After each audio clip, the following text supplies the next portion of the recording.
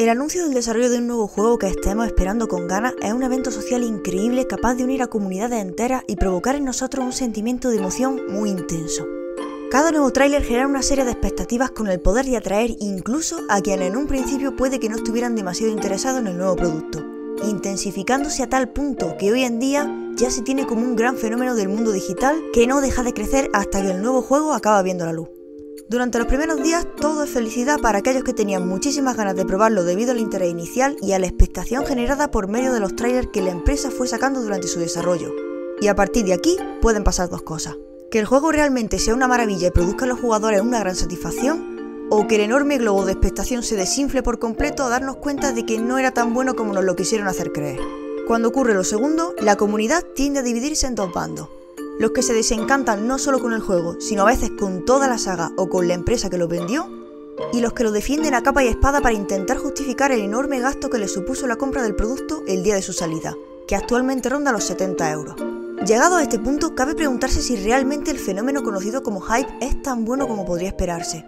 Para la empresa por supuesto que lo es, porque aseguran la compra inmediata de sus productos cuanto más caros están, sobre todo si se venden en formato de coleccionistas, que suelen llegar a los 100 euros. Pero ¿qué hay de los fans y de los jugadores de a pie?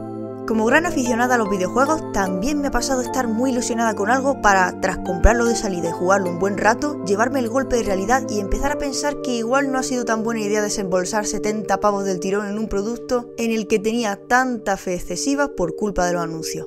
Y es que siento que últimamente esto pasa más de lo que debería con juegos de empresas que están bien asentadas en el mundo de los videojuegos, lo que me ha ayudado a ser mucho más prudente antes de comprarle algo. En lo personal, me parece que los trailers tienen más malo que bueno, y voy a proceder a explicaros el por qué pienso así. De nuevo, quiero recalcar que esto es solamente mi opinión personal respecto a este tema. Por un lado, a veces realizan tantos anuncios sobre un producto nuevo que prácticamente se pierde la gracia. ¿A qué me quiero referir con esto? A los casos en los que te enseñan tanto que no dejan lugar a sorpresa. Obviamente no ocurre con todos los juegos que están en proceso de desarrollo, pero me he encontrado con alguno que otro en el que me mostraban los puntos más fuertes del producto antes de poder probarlo por mí misma, lo que hizo que en lugar de tenerle más ganas me cabreara un poco por los spoilers tan gratuitos. Como he señalado, no todos lo hacen y no pasa con todos los juegos nuevos que van a sacar. Pero como no puedo estar del todo segura con respecto a qué trailer revelará un poco de la trama o directamente los momentos más fuertes, prefiero mantener las distancias para poder disfrutarlo completo cuando salga. Para quienes sean nuevos en el canal y no lo sepan, soy totalmente anti-spoiler y esa es la razón de que dedique una línea al principio de cada vídeo de reseña para avisar a quienes lo ven porque he sufrido varias veces en carne propia la putada de que te hagan un spoiler y quiero evitárselo a los demás a toda costa. De hecho, tengo un vídeo en el canal hablando del tema de los spoilers, por si queréis verlo después de este. Volviendo al tema, ¿cuál es la otra razón por la que he decidido ver la menor cantidad de trailers posible? La sobreexplotación de un producto inacabado para generar más expectación y llevar a los jugadores a gastar 80 euros de salida. Antes que nada quiero aclarar que cada uno puede hacer lo que le dé la gana con su dinero y nadie es quien para decirle en qué debería gastarlo. Este mensaje que estoy emitiendo es en base a mi experiencia personal, porque por mucho que luego venda el juego, nunca voy a poder recuperar todo lo que me he gastado cuando lo compré movida por el boom. La otra cara de este asunto reside en las peleas que la comunidad tiene entre sus propios adeptos cuando resulta que el juego no es ni la mitad de bueno de lo que decían que iba a ser en prensa y trailers.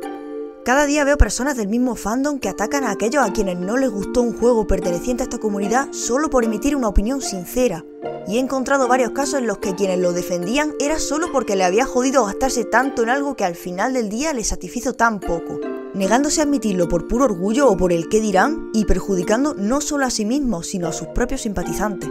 Obviamente esta situación me genera mucha más tristeza que en el anterior punto, pues mientras que el primero solo me afecta a mí en lo personal por mi reticencia a tragarme spoiler, la segunda cuestión salpica a todo el mundo. Por supuesto no estoy incluyendo a quienes sí les gustó un juego que la mayoría considera malo porque esas personas están siendo completamente sinceras y de verdad que lo disfrutaron. Cosa que me alegra un montón porque para gustos colores y todos deberíamos ser perfectamente libres de expresar nuestras opiniones sin ser acribillados.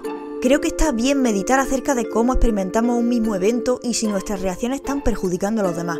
Atacar a otros solo por orgullo no sirve absolutamente de nada. En lugar de enaltecer nuestra imagen, el orgullo nos convierte en personas intransigentes, cabezonas y poco reflexivas ante los ojos de los demás, y mancha negativamente la percepción de nosotros mismos porque encima nos estamos mintiendo por defender algo que, aunque nos haya costado mucho dinero, no llegó a gustarnos. Yo me considero una persona muy pacífica, Odio profundamente meterme en peleas gratuitas y procuro siempre llegar a un acuerdo o a una posición equitativa para todos los involucrados en cualquier tipo de discusión. Sin ningunear las opiniones ajenas, pero no permitiendo que tiren por tierra las mías. Por esas mismas razones creo que el fenómeno social conocido como hype a la larga tiene más cosas malas que buenas, y desde que llegué a esa conclusión, cada vez que me decido a ver un tráiler, intento no sesgar mi visión del producto en base a lo que me estén mostrando, pues el único modo de saber cuándo te gusta algo realmente es probándolo, por muchos anuncios pomposos que nos pongan en la cara. Este era un pensamiento que llevaba dando vueltas en mi cabeza y quería expresarlo poniendo de ejemplo mis experiencias personales para sustentarlo. Espero que el vídeo haya despertado cierta curiosidad y que sobre todo os ayude a tomar mejores decisiones en el futuro, sin dejaros llevar por lo que los demás digan, sino siendo fieles a vuestros propios sentimientos. Muchas gracias por quedaros hasta el final. Dale like si os ha gustado el vídeo, compartirlo por redes sociales para que llegue a más gente, suscribiros si os llama la atención el contenido, un saludo y nos vemos en el siguiente vídeo.